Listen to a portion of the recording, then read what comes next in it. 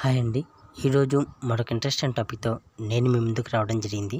So ఆ యొక్క topic ఏమనగా క్యాస్ట్తో సంబంధం లేకుండా ప్రతి ఏటా పద్దెనిమిది వేల ఏడు వందల యాభై రూపాయల అమౌంట్ మీ యొక్క అకౌంట్లో వైఎస్ఆర్ చేయుత పథకం ద్వారా మీ యొక్క అకౌంట్లో పడాలి అంటే సో మీ కాడ ఎటువంటి డాక్యుమెంట్స్ ఉండాలి?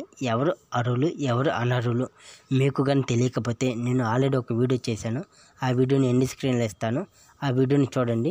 సో మీకు కూడా పద్దెనిమిది వేల ఏడు వందల యాభై రూపాయల అమౌంట్ రావాలి అంటే ఆ వీడియోని కంపల్సరీ చూడాల్సింది. సో ఈ యొక్క వీడియోలో నేను ఆల్రెడీ ఆ వీడియోలో కొన్ని కామెంట్స్ చేయడం జరిగింది. వైఎస్ఆర్ చేయుత పథకానికి ఎవరు అర్హులు ఎవరు అనర్హులు అని.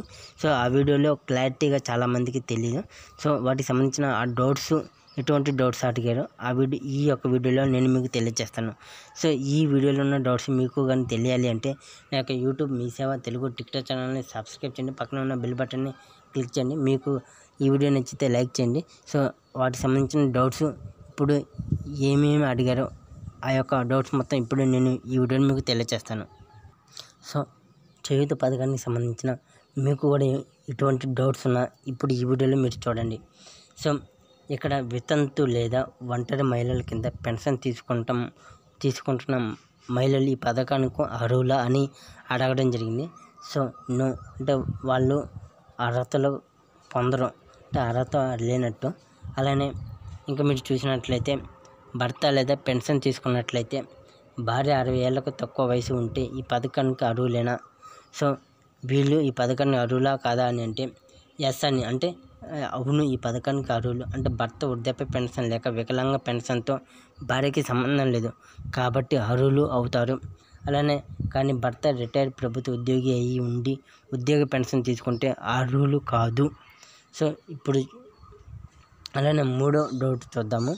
తమ పిల్లలు లేదా పేరెంట్స్ ప్రభుత్వ పెన్షన్ తీసుకుంటే ఆ మహిళలు అర్హులేనా? సో ఎస్ అంటే అర్హులు. తమ పిల్లలు ఒంటరి మహిళలు పెన్షన్ లేదా వికలాంగ పెన్షన్ లేదా తమ తల్లిదండ్రులు వృద్ధాప్య పెన్షన్ లేదా అలానే ఇతర ఏదైనా బీపీఎల్ పెన్షన్తో మహిళలకు సంబంధం లేదు.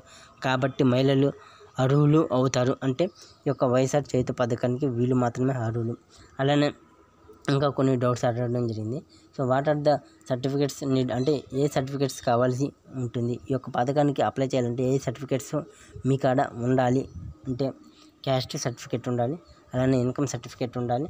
Along with Aadhaar. అంటే ఆ ఆధార్ కార్డులో నలభై ఐదు నుంచి అరవై సంవత్సరాల లోపు ఉన్న వాళ్ళకి మాత్రమే ఈ యొక్క పథకం ఇస్తారు.